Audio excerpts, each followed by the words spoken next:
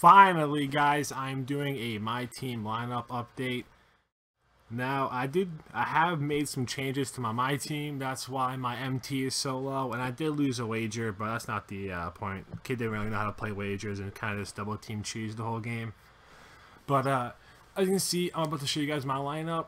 It's, it's pretty good. I'm just to, before I show you guys, um, I did miss all the codes. Like, I didn't get any pink diamond players or get all those special packs. If I did open packs, the only packs I did open were those Throwback Thursday packs. So let's get right into my team, and boom, that's a pretty good team. Um, kind of run down. I did buy Steph Curry right before my Cash Nasty wager.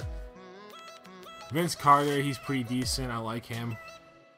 Um, the reason I got him at my shooting guard is because I didn't want to run LeBron James at point just because that's so cheesy and it's just too easy to win. So I got my shooter at my, uh, I wanted my point guard to be able to shoot the ball, shoot the three pointer really well. So I went out got Steph Curry.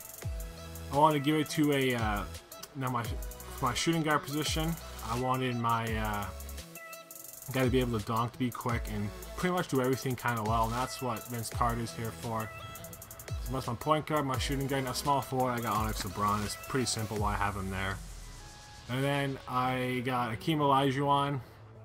He's a beast got all their I got all their uh, their golds updated and everything, the silvers, and I spent some MT because I went out to do a challenge to get my fifth Sapphire player, which was Jeff Green, just because it was really cheap to get him.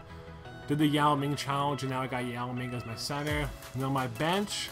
Here's my bench. So it's it's not that great, but I don't use my bench. I only use my bench probably somewhere in the second quarter and somewhere near the third and fourth. They only go on for a few minutes. So as long as you can get some points, I'm alright with that. Yeah, Mike, uh, Sapphire Michael Jordan, he's alright, but as you can see, he's kind of the shitty one. His three-point shot is really low. Now, Klay Thompson has probably the best three-point shot in this game, but misses so many open shots. I bought this guy for 50k, and I cannot stand him. Look at his stats. His stats are beast, but honestly, he hasn't done shit for me. I got Dominique Wilkins on my three.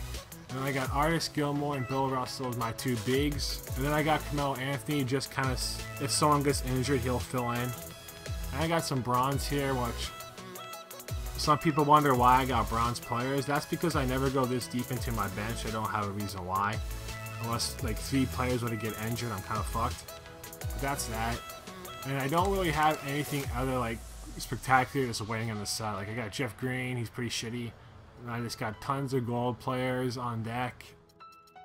So that's pretty much my team, guys. Um, like, I don't have anything in my auction house. Just the unsold card that, you know, who was supposed to buy. Um, collections, I don't have a lot of collections completed. Because I sell the players. But anyways, guys, give it a like, share, subscribe if you have not, and much love, dude. Peace out.